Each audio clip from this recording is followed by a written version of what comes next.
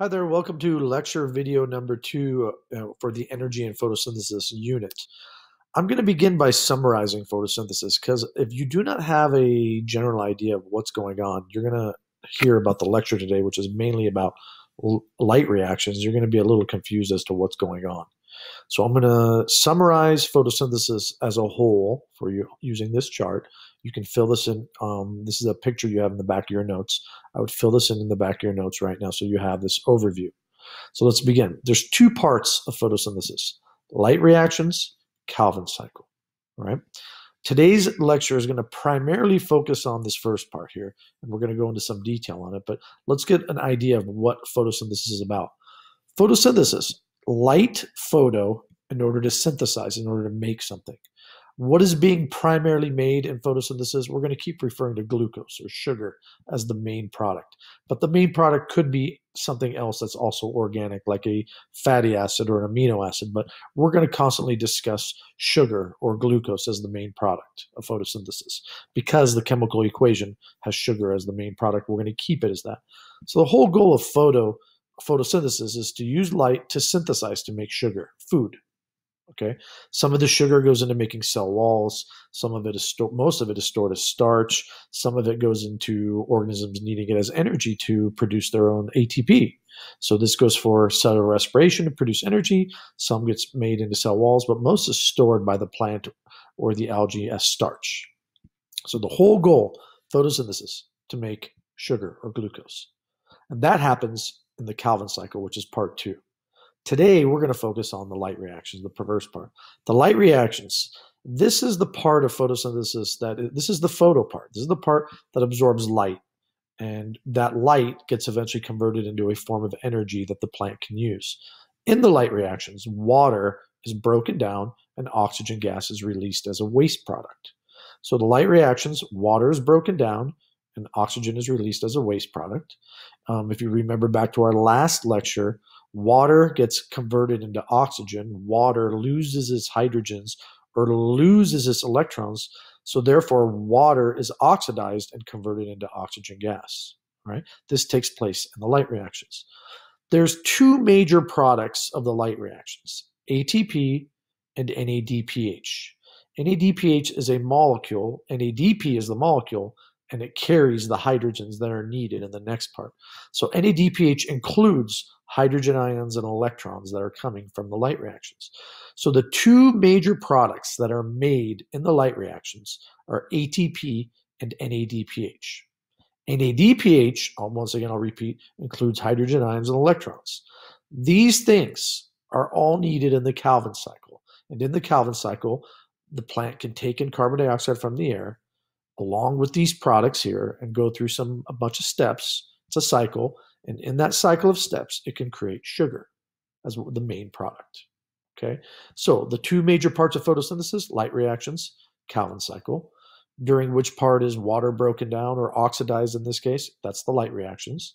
Oxygen is also made in the light reactions. Light is needed for the light reactions. And the major products needed in the Calvin cycle that come from the light reactions ATP, and NADPH, which includes hydrogen ions and electrons that are required later in the Calvin cycle to eventually produce sugar. So let's think logically here. Sugar has carbons in it. Well, where did those carbons come from? They came from right here, CO2. That C right there becomes those C's right there in sugar. Um, sugar also, glucose, has hydrogens in it. Where did they come from? They come from all the way back here. Water supplies those hydrogens. They become NADPHs. And these H's make their way into the Calvin cycle, and then they become right there sugar. Sugar also has oxygens in it. These oxygens that are found in sugar are not the same as these oxygens, very different. These oxygens that are found in sugar came from carbon dioxide, the oxygens right there. All right. The oxygen waste gas that's made in the light reactions, these oxygens came from water when water was oxidized or broken down. So this is an overview. So we are going to now focus on the details of light reactions. I highly suggest watching this video many times. It's going to take you about three or four times of hearing this video before things really start to click. So I would absolutely watch this video multiple times. In class, when we're in school, this would take students about three or four days in class hearing it from me every day, multiple times before they actually start to have it click or become familiar.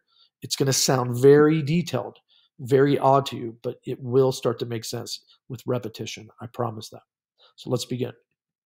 The light reactions. This is the first part of photosynthesis. Okay. I'm going to skip ahead just to show you what we're eventually going to get to. This is the light reactions right here. There's a lot going on. So I'm going to break it into small sections. My first section goes over one of these things called a photosystem. There's photosystem 2, there's photosystem 1. Yes, I know they come in the you would hope photosystem 1 would come first, but they don't. Photosystem 2 and photosystem 1, all right? Then I'm going to talk about this whole thing as a whole, and then I'm going to talk about this little section here, and then I'm going to connect everything, all right? So let's go back. First part of photosynthesis. Um, well, first off, let's discuss what a photosystem is. This is a this is a protein complex of chlorophyll and proteins. It's basically kind of like a battery. It's not a battery, but it's almost like a biological battery. How does this biological battery work? Well, this biological battery absorbs energy in the form of light. Um, what absorbs the light? Specifically, these green things. They're called chlorophyll. Okay, the chlorophyll absorbs the light and gets excited, which means it gets energized. So a photon of light comes in and energizes these electrons, sends a chain reaction all the way down these electrons. All right. So what's happening here? Well, this is a photosystem. Where is it found? It's found in one of those I call them little poker chips. They're called thylakoids inside of the inside of the chloroplast. There's little green chips in one of those chips there's a the membrane is on the outside. So this is a protein complex found in the thylakoid membrane. So how does it work? Light comes in it strikes the chlorophyll. The chlorophyll gets energized. Eventually this chlorophyll here called chlorophyll a there's a pair of chlorophyll a electrons in the center. This pair of chlorophyll a electrons they get so energized that they actually lose their electron Losing their electron means they get excited. So this pair of chlorophyll A electrons gets so energized, they get excited or they lose their electrons, they get oxidized, and their electrons get moved to a higher energy level and get picked up by what's called a primary electron acceptor. So a primary electron acceptor just picked up electrons. This thing gained electrons. Therefore, it was reduced. Chlorophyll A, these pair of chlorophyll A's, they lost their electrons. Therefore, they were oxidized. So oxidation, electrons being lost, primary electron acceptor, it accepted, it gained electrons. This was being reduced. All right. So there's two photosystems. Photosystem two comes first, or seems as though it comes first. Okay. So it gets confusing. So there's photosystem one and photosystem two. They look the same. They work the same. They have chlorophyll. They have chlorophyll A. They absorb photons of light the same. They both have a primary electron acceptor. Their electrons, for example, the chlorophyll A gets oxidized, the primary electron acceptor gets reduced. It's the same for both photosystems, okay? So this is what a photosystem looks like. Happens in the thylakoid membrane inside of the chloroplast. So what happens next? So here's what happens. Let's now let's take this a step further. This is a photosystem. This is a photosystem. This is photosystem two. This is photosystem one. They technically both will be absorbing light at around the same time, but I'm going to teach it to you in a certain chronological order as it shows you here one two three four five and six so that it makes more sense to you when you when you're looking at it. So even though photosystem 2 and photosystem 1 technically are probably taking place simultaneously i'm going to teach it to you in an order where photosystem 2 happens first based off of this picture all right? So let's begin. Number one all right it begins with light being absorbed by the chlorophyll and i already went over this in the last slide. What light is being absorbed Okay. Don't worry about this number here. That just is a wavelength of light. That doesn't mean anything. That that's not going to be on your test in any way, shape, or form. So light is absorbed by chlorophyll. That's happening in step one. All right. And this is basically happening in the thylakoid membrane, like I said earlier. The chlorophyll gets energized. Energized, and another term for energized electrons is called excited electrons. So the electrons in the chlorophyll get energized.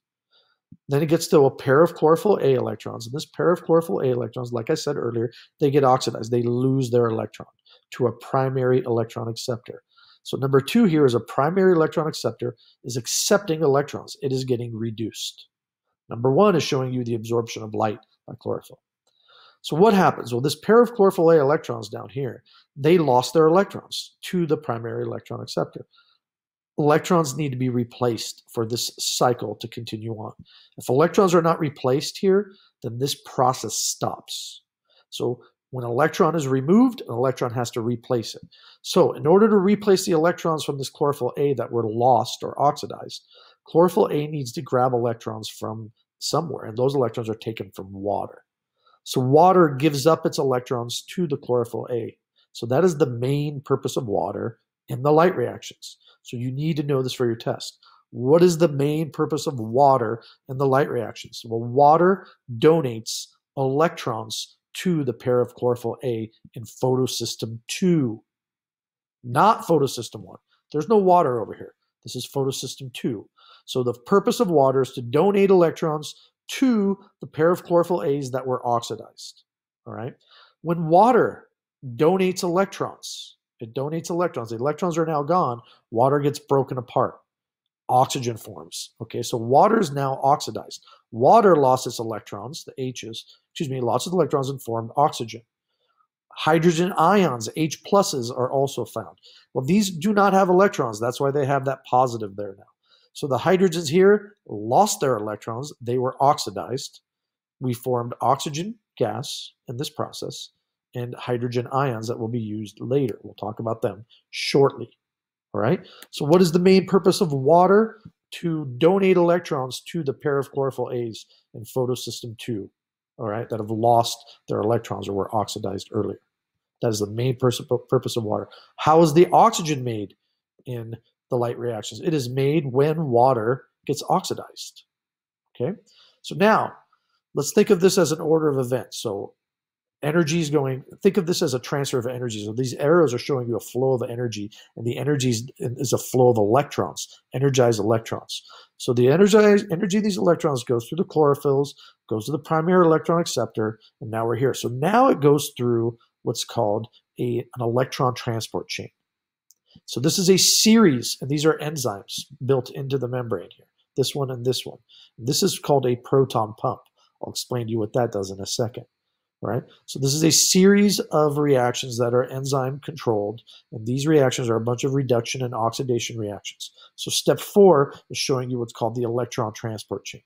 This is a series of reactions, and it's showing you that the electrons are at a higher energy here, and as they go down, they're losing their energy, and they're going to a lower energy state when they get down here.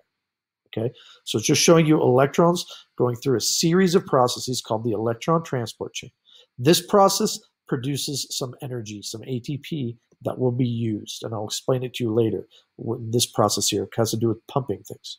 So this ATP here is used by the plant to pump or move things.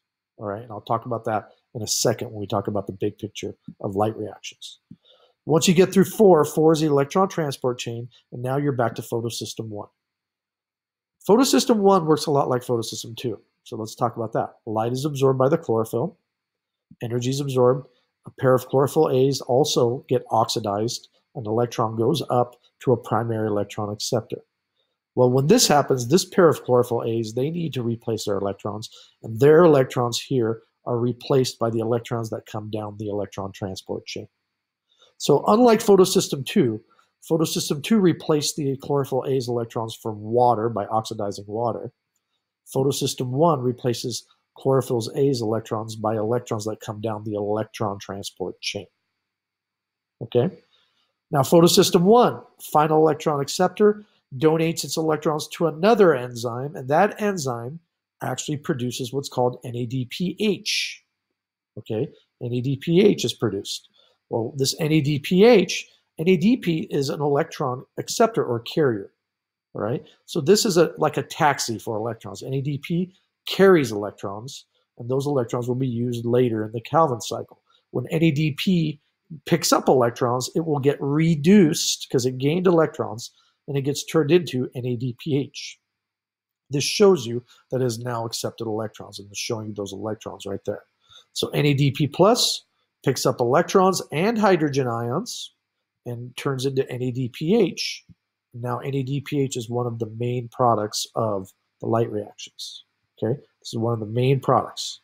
So let's go, let's go back over this process. Number one, light is absorbed, chlorophyll is energized, chlorophyll A gets oxidized, primary electron acceptor gets reduced. It gets it picks up electrons.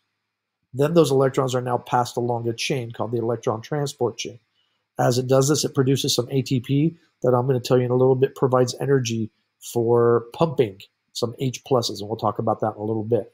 Come down the electron transport chain, and those donate their electrons to photosystems 1, their chlorophyll A electrons that were lost here, that were oxidized here. Those go up to a primary electron acceptor. That acceptor then transfers the electrons to another enzyme that facilitates a reaction that produces NADPH. NADPH is produced by NADP plus, the electron carrier, picking up hydrogen ions and electrons, forming NADPH. The oxygen gas that's produced here is released. It can trans it can, since it's hydrophobic, it can go right through the membrane and be released to the air. All right. Here's another part. This is an interesting thing. This is called chemiosmosis and ATP. This is an enzyme that's found here. Let me go back forward a step. So see this right here? This is the enzyme. This is the pump. I'm going to go over this with you in a second, but this is the enzyme right here. So I'm going to shift to this area to explain to you what's happening there. So in the thylakoid membrane, and in the picture, it'll be to the right of the photosystems, you'll see this other protein that's sitting in there. This is an enzyme or another protein. It's called ATP synthase. This, this enzyme, its primary function, this protein's function is to make ATP. Okay, to make ATP. This ATP is needed in the next part of photosynthesis, needed in the Calvin cycle. Calvin cycle needs the NADPH and this ATP that's made here. So how is the ATP made? Well, a bunch of hydrogen ions get built up in the thylakoid, inside of the thylakoid space. And these ions, they want to move. Things in nature diffuse. They want to move naturally from where there's a lot, in this case, to where there's a little over here. There's just one over here. There's one, two, three, four, five, six, seven on this side. So there's a lot here, a little here. This is high concentration. This is low concentration. These ions, if they build up on the inside of the thylakoid, they naturally want to diffuse through this protein and leave naturally. And they do that. As they leave through this protein, this protein has the ability to attach phosphates to ADPs that are floating around in the stroma, and it converts them into ATP. So once again, how is ATP made? The process is called chemiosmosis. So the chemical or the H pluses are doing osmosis and moving through this protein. They're diffusing through the protein from an area of high to low concentration. As these hydrogen ions move through this protein, they will actually help uncouple the production of ATP. So ADP, adenosine diphosphate, adds a phosphorus and produces ATP this way. This is called chemiosmosis. The enzyme is called ATP synthase.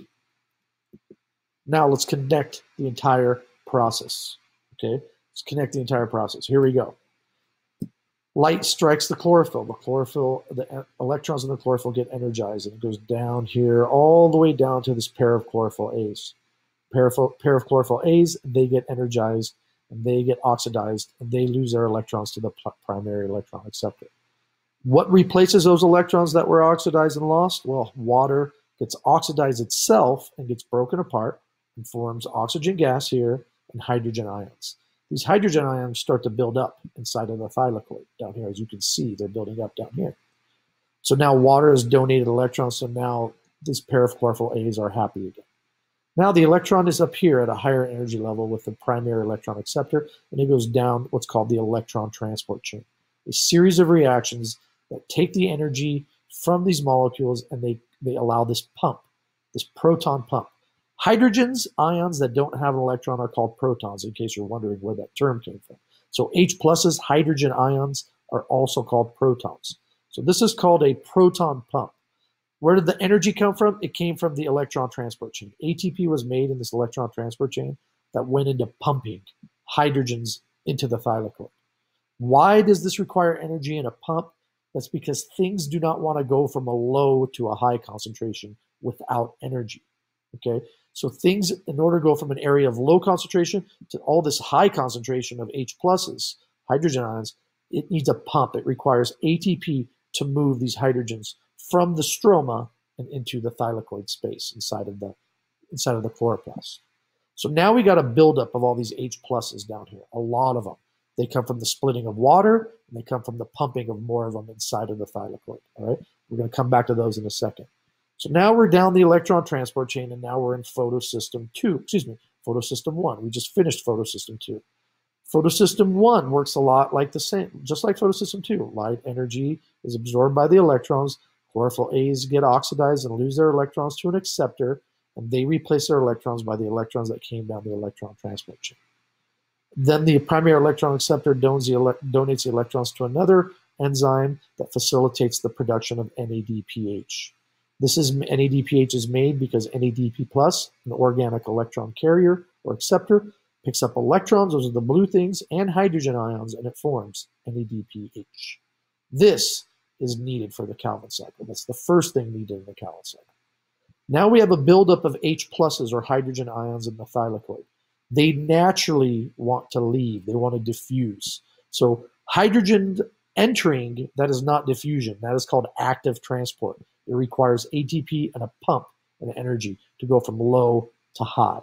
To go from high to low and leave this area, this does not require energy. This is called diffusion. So the H pluses that build up in the thylakoid space, they naturally want to diffuse out of this ATP synthase. And as they diffuse out, that allows this protein or this enzyme to connect phosphates to adenosine diphosphate, ADP, making ATP. The two products needed for the Calvin cycle are NADPH and ATP. NADPH includes the hydrogens and the electrons that will be needed later, and this is the ATP, the energy that will be needed in the next set of reactions. Here's another picture showing it to you. It's showing to you how the thylakoid membrane looks. All right? We're going to stop right there.